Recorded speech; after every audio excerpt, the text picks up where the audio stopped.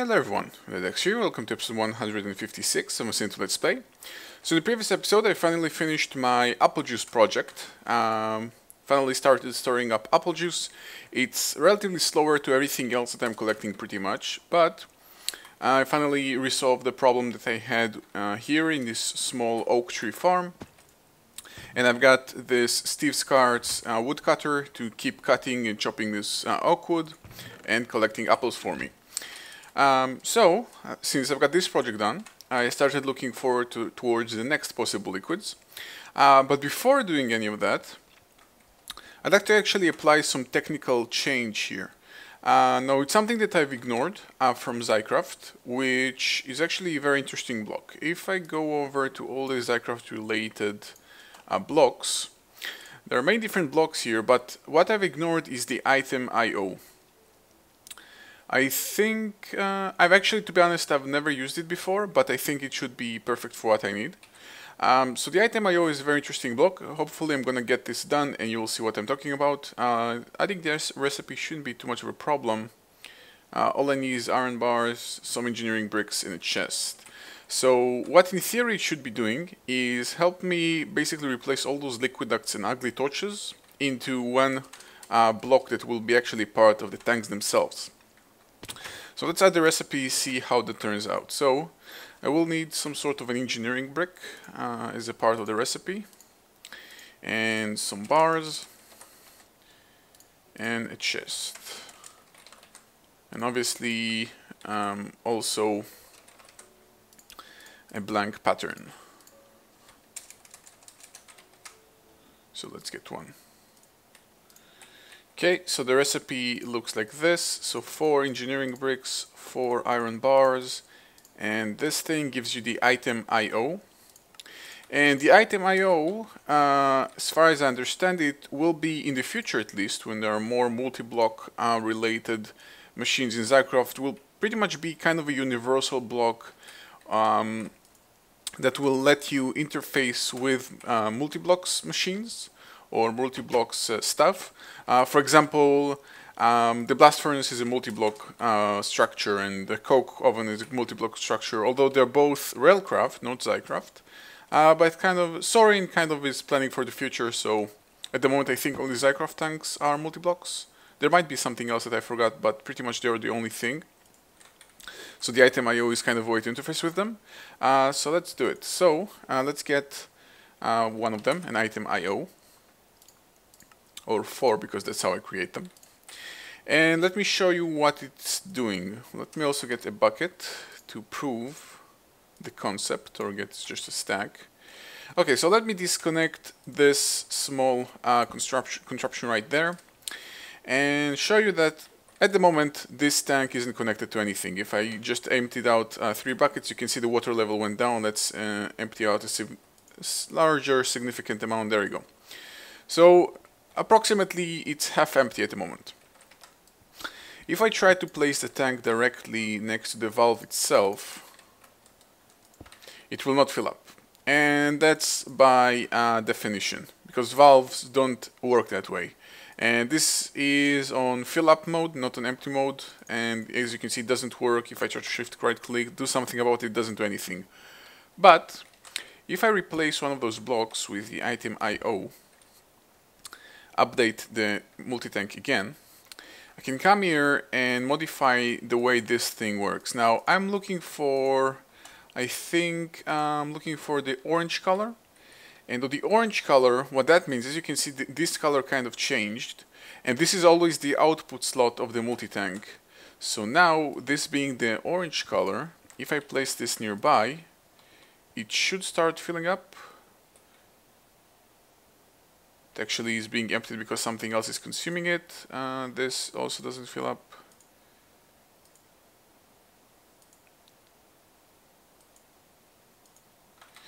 Okay, so I guess, um, hmm.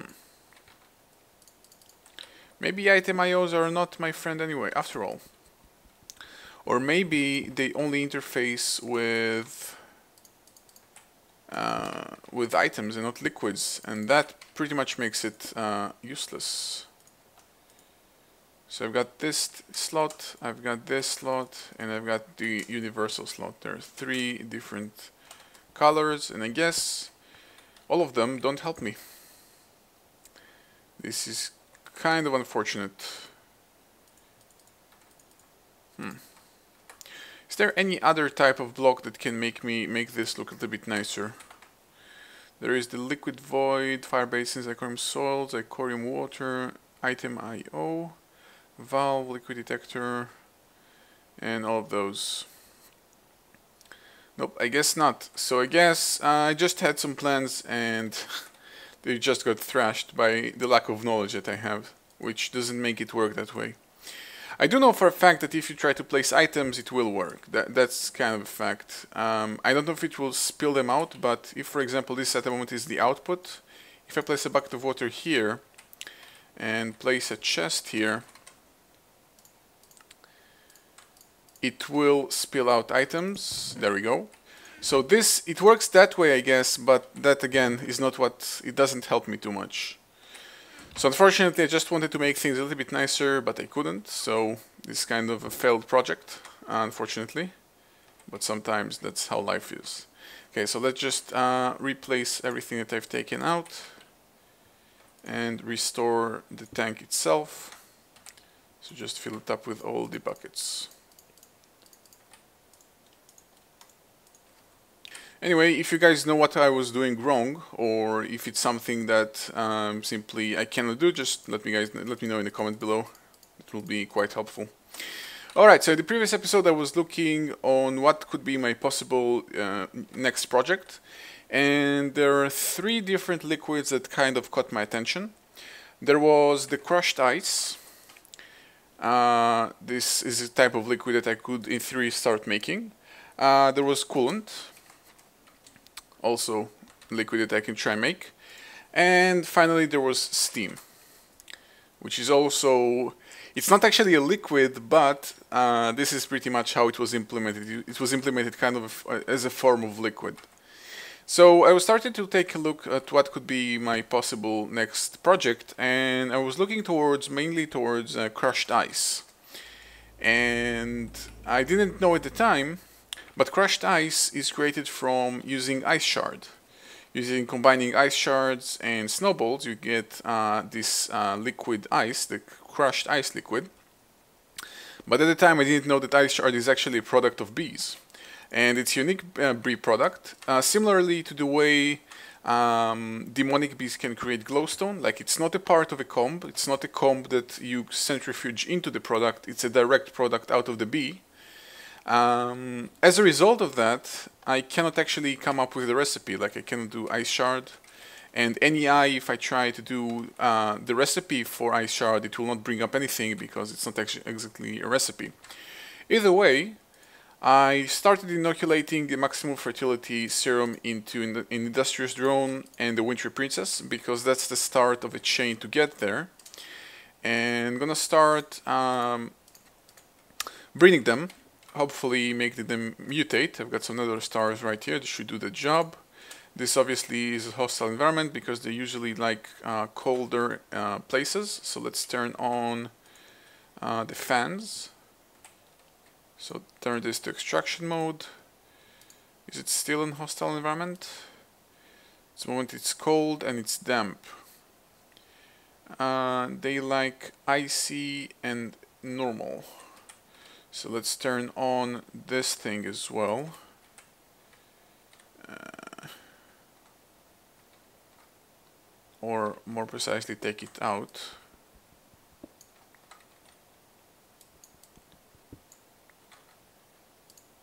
Try and start breeding them to give them the right environment so they stop complaining. Yep, and that seems to be like a good environment. Normal humidity and cold temperature. I've got a nether star right here, which in theory should make the mutation 100%, although from my experience it doesn't really work that way for some reason. But that should help me make my way towards um, the crushed ice bee. I think it's called the icy bee or something. That's the bee that will generate uh, the product that I'm looking for. Okay, let's just quickly get rid of all of that good stuff and continue. So, Uh, since at the moment I'm working towards the crushed ice, let's take a look at what could be my other two options, which is either steam or uh, coolant.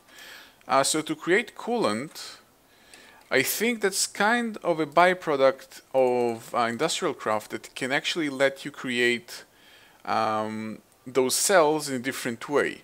As you can see, you can create, you can fill up, I don't know, no idea what liquid registry is, but apparently if you if you uh, you can basically fill up cans or cells with this coolant liquid to get the coolant cells. The coolant cells are used, um, I think, only in reactors, only nuclear reactors. I'm not using any of them because there in my opinion, there are better methods uh, to use them. But uh, what I'm actually interested in is how exactly do I create the actual liquid. Now, I would assume it will be pretty much the reverse the reverse um, process, taking the coolant cell and uh, kind of processing it, to turning it into liquid. Now I can't seem to come up with the right way to make it, so let's just improvise. Uh, let's try making one of those coolant cells and see what happens if I dump it into a liquid transposer.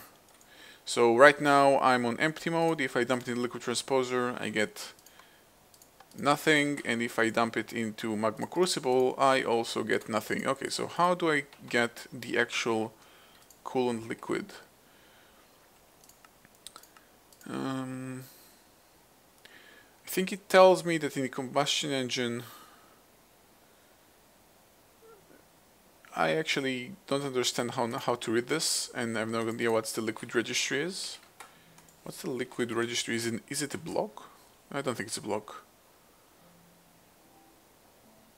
No, it's not a block. Okay, let me try and realize how exactly do I make this coolant liquid.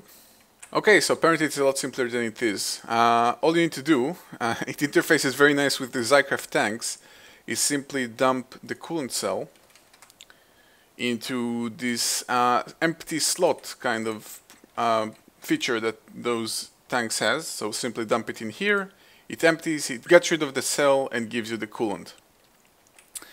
So let's uh, find a way to actually make it completely automatic. It shouldn't be too much of a problem, but uh, it will be a little bit different. And you know what? I think I can actually use uh, the item IO right here at the moment after all. So let's do that. Uh, so what I'm going to need is this one of those item IOs. And I'm going to need um, a Tesseract. I'm going to get an item tesseract. Now I could go ahead and uh, have cables, have the Platinum Logistics cable running all over the place to get here, but I think going to use tesseract to keep this kind of uniform, that every tank has its own input. Now even though uh, most other tanks, or all the other tanks use the liquid tesseract, this one's going to use the item tesseract, but still it's going to be kind of the same uniform look. So let's get rid of this and place the item IO, IO here, re-update the tank and change the mode to be, I think it's blue. Yeah, blue will go to the input.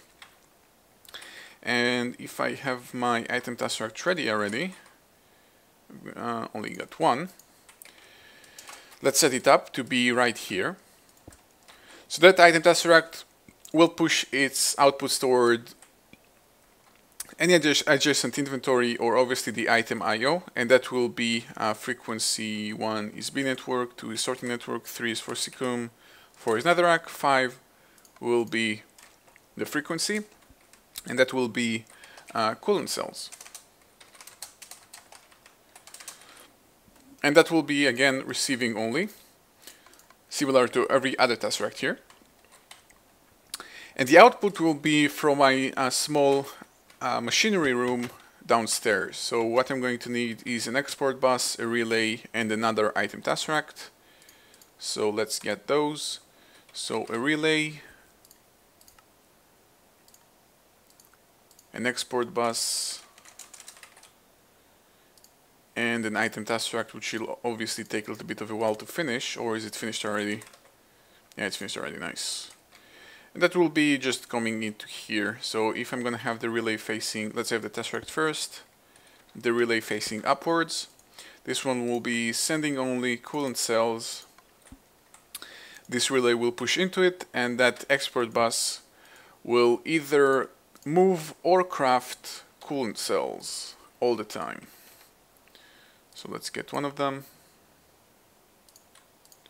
and set it up as the recipe kind of thing. The export configuration. And if I come back and take a look at the actual tank, I should see it start filling up with coolant liquid. Now, to be honest, I have no idea why you want to do with this. Like, why would you want to do it? I don't know, except for a project like this where you want to have every type of liquid. Uh, that because as far as I understand it, you can store liquid that way, and then you can move it around and redo it again, like uh, empty, uh, fill up uh, empty cans. But then again, uh, empty cells, sorry. But then again, why would you want to do it? Why not just store it in, in um, item form? I don't know. But uh, I don't know, it's kind of amusing, so let's just uh, build it up. Okay, so finally, if I ignore the crushed ice project, the only final liquid that I still haven't dealt with is steam. And I've actually, you'll be surprised, but at the very, very early beginning of my Let's Play, I actually used the Steam engine. I should still have it lying around, uh, somewhere around here. I've got the pit-fired engine, electrical engine, there we go. The hobbyist Steam engine. That was a very early beginning of my Let's Play because it's a very easy thing to run. It used just water and coal, and it was a little bit more efficient than the normal uh, Stirling engine, or whatever it's called, the coal engine keep the name keeps changing. I think, yeah, the Stirling engine it's called. It's a little bit more efficient, so that's the reason why I used it. Although just it also required water. And that's a key feature. Steam is essentially water, and that's also in real life if you if you didn't know. Um, so I'm going to start taking a look on how do I get steam production running. Now there are a couple of parts in the process of making it. I see there is a steam oven, a steam turbine housing, a steam turbine. Uh, no clue what this is.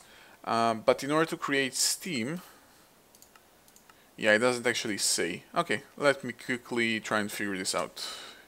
Okay, so creating steam is kind of very, it's not a very complex, uh, it's not a very complex uh, process, but it has many different types of options to craft it. So it kind of, you craft it in something called uh, steam pressure or something, I don't know what it's called, but it's a multi-block um, structure, I believe from Railcraft, although I'm not 100% uh, sure. Either way, uh, you create it using two types of blocks. First, as a base, you're gonna need some sort of a fuel, uh, fuel storage.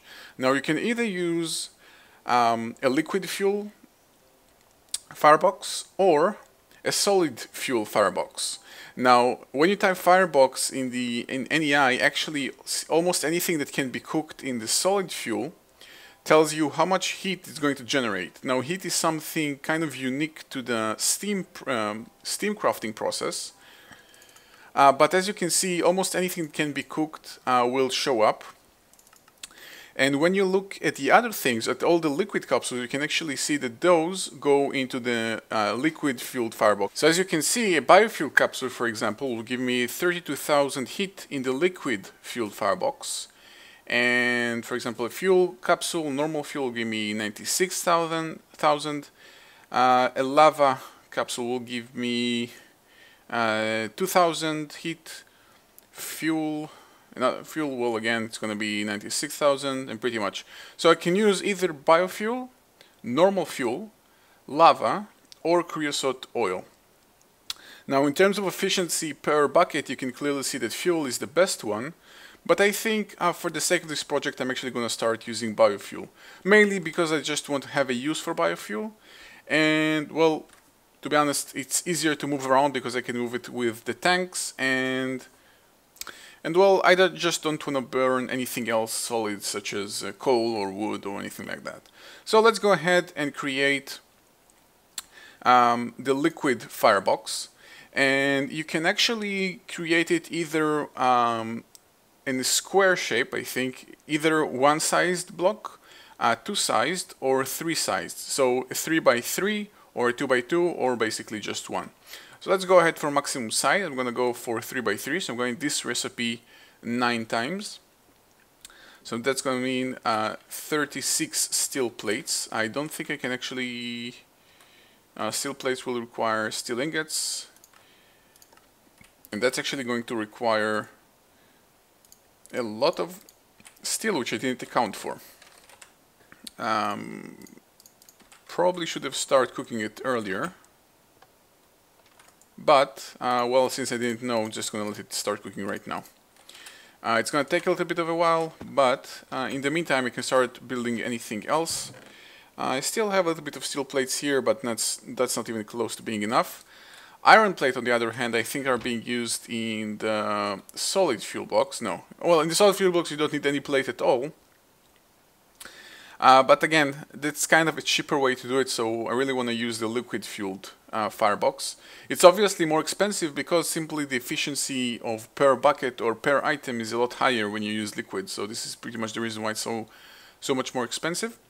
Uh, but also, apart from the fireboxes, which are the base of everything, you're also going to need some sort of a tank or uh, steam forgot the name, uh, something called with pressure. There we go. I've got a low pressure boiler or a high pressure boiler. Now, uh, both of them can be used.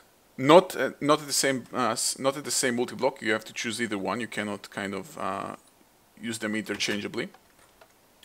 The way I understand it is a low pressure boiler uh, will make things will make um, will make steam slower it won't be as fast, but it will be more efficient per fuel used. Where a high pressure boiler, where pretty much, uh, as you might guess, it will make it, it will make steam a lot faster, but it won't be as efficient. Because there is also this factor of heat, where the steam cooker has to heat up first, and this kind of a lot of math involved, and to be honest, I don't understand it fully. But what I'm going to go for is the low pressure boiler. Uh, mainly because I'm not, not in a hurry to create things faster, just want to create them to store them. So, since I'm going to have a 3x3 base of those uh, fireboxes, I'm going to have a 3x3x3 um, pressure boilers. So that's going to mean uh, 27 of those blocks or 54 uh, rolling machines. Well, 54 iron plates but that's divided by 4, so a little bit less. Anyway, uh, let me figure out the math quickly. Well, since I already got some of those iron plates, I can actually craft a little bit less. Uh, let's craft, if I've got, I'm going to need uh, 54 plates, minus say that's uh, 46. I'm going to need the process 12 times, so let's have a bunch of iron. And I'm going to need the rolling machine somewhere and I have one right here. So if I set up the recipe like this, I'm gonna need this uh, 12 times. So it'll be like this, this, and this. It will start just auto crafting. It will be limited by the fact that I have 12 here, so that will uh, just stop when I have enough. When this will run out. Uh, in terms of steel, it's going to take a little bit of a while. In the meantime, I can also, let's check up on my bees. Okay, so I got, there we go, I got the Icy Princess, that's what I was looking for. Uh, let's try, or was it actually, let's see, let's BLize it. I think I'm actually going this one more step. If I take a look at the products. Oh no, this is the one that I was looking for. Nice. Okay, so this is the one I'm looking for. Let's try just inbreed it so I get uh, a higher um, more of them basically. So let's uh, place this in, uh, I'm going to an apiary for this and a lot of soul, soul frames to increase the rate of which they die. So I got uh, some here. So this and this. Place them here and just let them inbreed between themselves and because I'm using soul frames they're gonna die faster but since I inoculated oh wait I can't do it in apiary because it's too cold for them forgot about that okay so I'm gonna simply do it here again well they do have the high fertility rate so that's pretty good on its own without the soul frames, so it's kind of worth it either way. Okay, so I'm gonna let those bees breed and I'm gonna let the steel cook and I'll be right back. Okay, so since I'm uh, anyway waiting for the steel to cook, what I'd like to do is since I lately noticed I'm using quite a lot of steel, or not quite a lot, but I'm using some steel, uh, let's set up some sort of a way to automatically craft steel. So let's get uh, a level emitter. I've got also an export bus and import bus and all that good stuff. So let's have the ex export bus. I think it, it, doesn't have to be on the top, even though I placed it on the top right here. I don't think it has to be. We're going to definitely see right now. Uh, let's have the um, export bus right here, import bus right here, and oh, actually, let's not have it like this. So the import bus right here, the level emitter right here, and cables connect to everything. And before finally connecting it, and by the way, just added those two monitors right here, just to track uh, the tracks nicely. Uh, so the import bus will only work uh, with a signal, and the signal will be emitted when I have less than say 128. So less when I have less than two stacks of steel, it will emit a signal and it will try to import whatever is available to import. And the extra bus will always be running, it will always be uh, exporting iron and coal coke. And if I did everything correctly, if I try uh, just connecting it to the rest of my network, iron will be placed on the top. And when this is full, coal coke will be placed on the bottom. And when any time steel is available, it will be imported into the system as long as this has a signal. And it will stop having a signal when I have 128 or two stacks. Now, as a result, basically at the moment I need steel, I'm gonna have three stacks available, two at my actual inventory and one available uh, in the actual inner inventory of the blast furnace. Just kind of a small little uh, project just to make sure that I'm always restocked with steel Mainly because I just noticed that I'm using it lately for some odd reason. But yeah, I'm using it nevertheless, so. Okay, so I've got my 44. I need to craft manually this as well. And this is gonna let me create my low pressure boilers. I'm gonna need 27 of them. So this will give me 28. So if I remove one of those, this gives me 27 low pressure boilers. Now without the actual fireboxes I cannot do anything with them.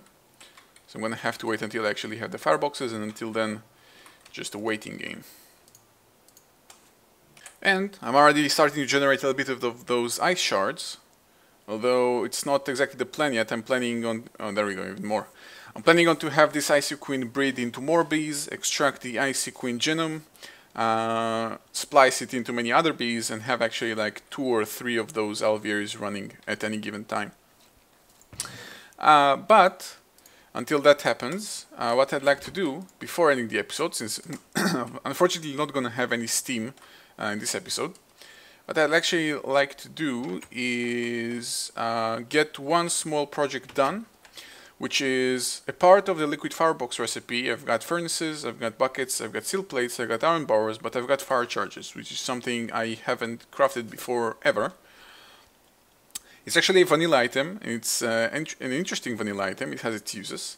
Uh, but it's crafted like this, blaze powder, gunpowder and coal. Now fortunately I already got all of those uh, products on constant supply and either constant supply or an auto crafting supply.